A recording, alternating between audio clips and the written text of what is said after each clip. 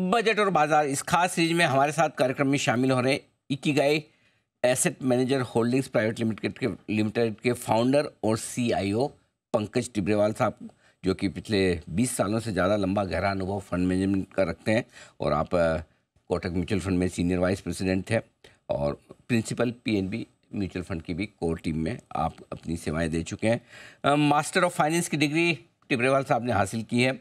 University of Manchester Britain से।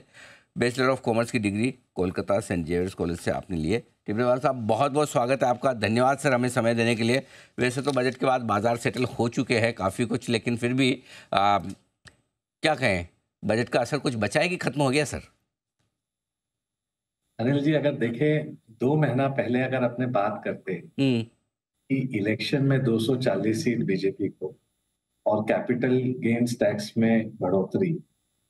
हर व्यक्ति market का बोलता मार्केट 10-15 टका तो करेक्ट हो जाएगा। हम्म। और आज दोनों सिचुएशन हो गई और मार्केट ऑल टाइम हाई पर है।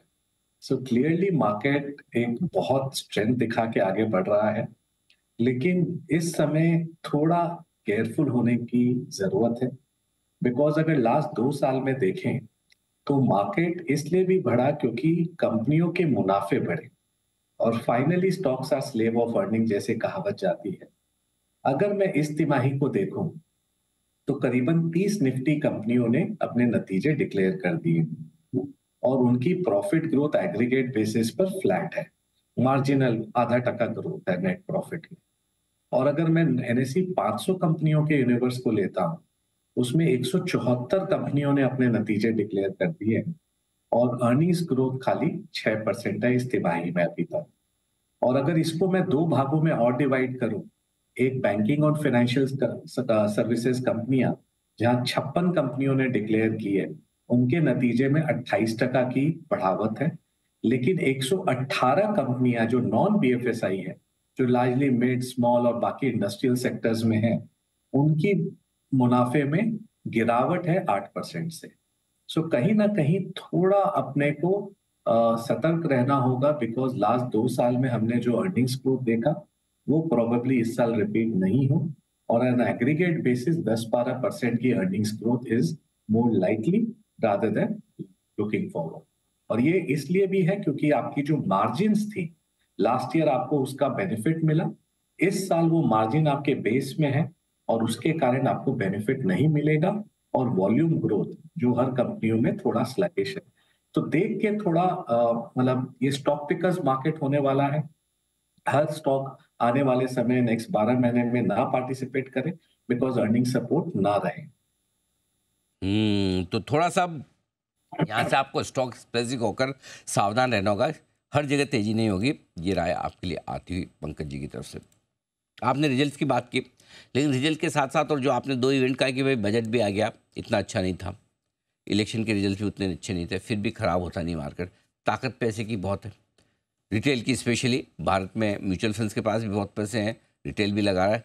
तो सर ये फ्लोज कब तक बाज़ार को संभाले रखेंगे? आ, ये ज़रा समझाइए और क्या ये मज़बूत फ्लो एफ़ की अगर कोई बिकवाली आए तो मुकाबला करने में सक्षम है? डेफिनेटली अनिल जी, अगर आप पाँच साल पहले देखें और आज के मार्केट को देखें तो एफ़ के लेने बेचने से मार्केट में अब फ़र्क नहीं पड़ रहा है। हमने म्यूचुअल फंड के एसआईपी बुक को इक्कीस बाईस हज़ार करोड़ होते हुए देखा जो पाँच छह हज़ार करोड़ होता था। और ये साल का करीबन अढ़ाई लाख करोड़ रुपया आपको दे रहा है। उसके ऊपर अगर हम देखें तो इंश्योरेंस पेंशन फंड म्यूचुअल ये P PMS A I F सब मिला के साढ़े तीन से चार लाख करोड़ की हमारी एम्बिनेशन डोमेस्टिक बन गई है। और उसके बाद भी हम छह परसेंट सात percent household penetration of equities में।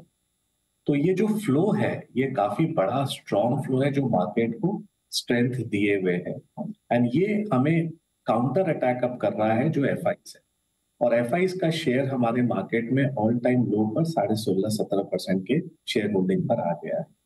तो क्लियरली हम डोमेस्टिक निवेशक एक बहुत बड़े स्ट्रेंथ के साथ आए हैं और यही मार्केट को जब भी कोई गिरावट होती है, उसे सपोर्ट किए हुए है। ये मार्केट तभी सेंटिमेंटली खराब होगा जब कोई एक्सटर्नल इवेंट ऐसी बड़ी चीज़ होगी, जहाँ पर निवेशकों का हिम्मत टूटेगा। अगर वो नहीं हो तो मार्केट में रेगुलर आपका फ्लो आता जाएगा और ये फॉरेन इन्वेस्टर्स को काउंटर कर रहा है। तो ये बहुत बड़ा चेंज हुआ है। ये आपने भी नहीं देखा, मैंने भी नहीं देखा, किसी भी मार्केट पार्टिसिपेंट ने नहीं देखा। तो वैल्यूएशन में हर चीज़ महँगा लग रहा है बट पावर की मनी का पावर इतना तेज है कि वो मार्केट को घटने नहीं दे रहा। तो ये मतलब ये सबके लिए एक एक एक चिंता का विषय है कि ये कहीं बबल नहीं बन जाए। आज वो बबल सिचुएशन में नहीं है एक्सेप्ट फ्यू पॉकेट्स एक दो पॉकेट के बारे में बात करता हूँ कि रेलवे प्लस डिफेंस आज 18 लाख करोड़ का मार्केट कैप हो गया है। अगर ये 2019 में हम देखते हैं तो एक लाख बीस हज़ार करोड़ का मार्केट कैप था। मतलब 2019 से 2024 में ये 67 परसेंट सी से इनका मार्केट कैप बढ़ा। लेकिन इनकी प्रॉफिट करीबन 21 परसेंट सी से ही बढ़ी। तो पी एक्सपेंशन काफ़ी बड़ा हुआ है। इस मतलब आज के मार्केट में आपको क्या नहीं करना है, ये क्लियर होना चाहिए। नहीं तो गलतियाँ होने की संभावना बहुत ज़्यादा है। कई मार्केट होता है जहाँ सिलेक्शन प्रोसेस हेल्प करता है, कई मार्केट आज जैसा है जहाँ एलिमिनेशन प्रोसेस हेल्प करता है। आप अगर एलिमिनेट ठीक से कर दें कि हमें क्या नहीं लेना है और क्या चीज़ों में रहना है और स्टॉक स्पेसिफिक तो आप नेक्स्ट 12-18 महीने अच्छे से नेविगेट कर पाएँगे, अगर मार्केट में ड्रॉडाउन भी होता है तो। इंटरेस्टिंग चीज़। है पहले तो ये फोकस करें कि क्या नहीं लेना है। कहाँ सावधान रहना वो बहुत ज़रूरी है। अच्छा एक चीज़ और क्योंकि हमारे मार्केट अच्छी मजबूती में है लेकिन सामने ऐसा नहीं कि हम ही मज़बूत है। ग्लोबल मार्केट्स भी अच्छे ही कर रहे हैं हाइस पे हाई अमेरिका भी बना रहा है। आगे वहाँ क्या डायरेक्शन देख रहे हैं? और उनसे पंकज जी भारतीय बाजारों के लिए क्या संकेत मिलते हैं? सो so, क्लियरली जब तक ब्याज दर में खड़ावट नहीं होगी और अगर आप हिस्ट्री में देखो तो जनरली जब तक ब्याज दर नहीं घटता है तब तक मार्केट को एंटिसिपेट करता है कि घटने वाला और मार्केट रैली करते रहती है। जब ब्याज दर घटता है उसके नेक्स्ट बारह महीने यूएस मार्केट में ट्रबल रहता है और ग्लोबल मार्केट में भी ये हिस्ट्री बोलता है।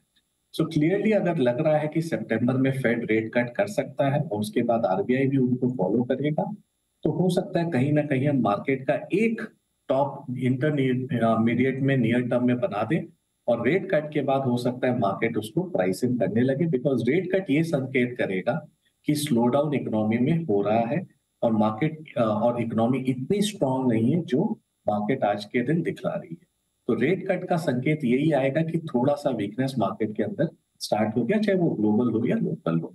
तो ये चीज़ों को मार्केट हमेशा स्मार्टली प्राइसिंग करता है और ग्लोबल मार्केट्स आज के दिन अगर देखें तो ऊपर के जो सात दस कंपनियाँ हैं वो एस और डाउ को ऊपर लेके जा रही है। बट अगर आप नीचे के स्टॉक्स को देखें S and P five hundred में, उन्होंने पार्टिसिपेट नहीं किया है। सत्तर से अस्सी परसेंट एस एन पी के जो स्टॉक्स हैं, वो एस एन पी इंडेक्स को ही आउट परफॉर्म नहीं कर पा रहे हैं। तो क्लियरली ये देख रहा है कि मार्केट का जो रैली हुआ है यूएस में, वो कॉन्सेंट्रेटेड मैग्निफिसेंट सेवन जिसको बोलते हैं, उसके कारण हुआ है। लेकिन बॉटम के जो वहाँ small cap mid cap stock है वो बहुत चीप है उन्हें कोई आज ले भी नहीं रहा वो बहुत मैसिव अंडर परफॉर्म किए लास्ट एक डेढ़ दो साल में हम देखे तो। ओके पंकज जी ये बताएँ फिर नतीजों को देखते हुए वैल्यूशंस को देखते हुए भारतीय बाजारों में कहाँ अब भी आपको थोड़ी सेफ्टी नज़र आती जहाँ निवेश किया जा सकता है? अनिल जी एक और खाली वैल्यूएशन को साइड करते हैं लेकिन एक बड़ी थीम है जो पूरे विश्व में बहुत स्ट्रॉन्ग थीम मैक्रो कंस्ट्रक्ट है वो है पूरा पावर वैल्यू चेन अगर आप देखें, पूरे विश्व में हो क्या रहा है? पहले जो जो सोर्सेज ऑफ़ पावर जो कंज्यूम करते थे, वो थी aluminium plant steel plant household और ये सब प्लांट्स को आने में चार से पाँच, छह साल लगते थे। अब जो कंज्यूमर है इंक्रीमेंटल वो है बिटकॉइन ईवीज डेटा सेंटर और इनकी कैपेसिटी आठ दस महीने में आ जाती है। जिनके कारण आप जो पावर सप्लाई है, उसको बेटर प्लानिंग नहीं कर पा रहे। तीस साल तक यूएस में पावर डिमांड फ्लैट था। कोई ग्रोथ नहीं थी डिमांड में। लास्ट एक डेढ़ साल में उनमें एक हॉकी स्टिक आया और पावर डिमांड में भयंकर तेज़ी आई है। तो खाली इंडिया नहीं बट ग्लोबली थर्मल कैपेसिटीज आपने बैठाया नहीं। न्यूक्लियर कैपेसिटी में ज़्यादा काम हुआ नहीं और सामने डिमांड अब आना चालू हो गया है। तो आप सोलर और विंड से उतना ही कर पाते हैं बिकॉज़ उनकी पीएलएफ कम होती है।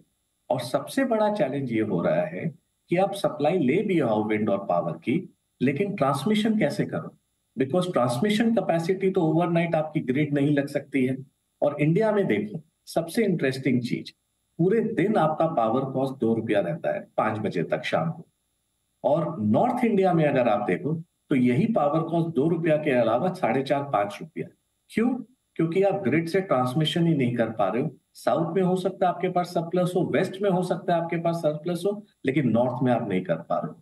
तो हमें लगता है ये जो पूरा पावर वैल्यू चेन है, ये नेक्स्ट पाँच दस साल के हिसाब से अगर आप देखो बोथ ग्लोबल और लोकल तो ये एक बड़ा थीम है जो करना चाहिए। लेकिन ओनली चैलेंजेस इस सारे स्टॉक्स की पी वैल्यूएशन स्काई मतलब you know off the off the radar है।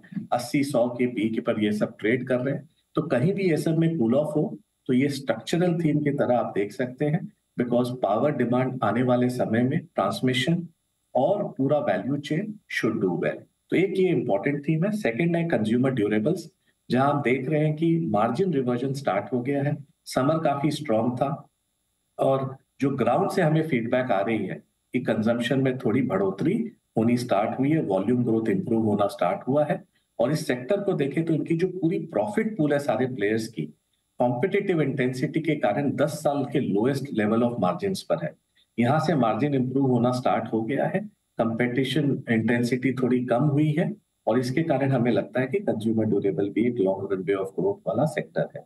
थर्ड फार्मास्यूटिकल ये काफ़ी स्ट्रॉन्ग लग रहा है बोथ डोमेस्टिक और अगर हम यूएस सेंट्रिक फार्मा कंपनीज़ को देखें और नतीजे भी जो आए हैं इस, इस तिमाही के काफ़ी स्ट्रॉन्ग रहे हैं।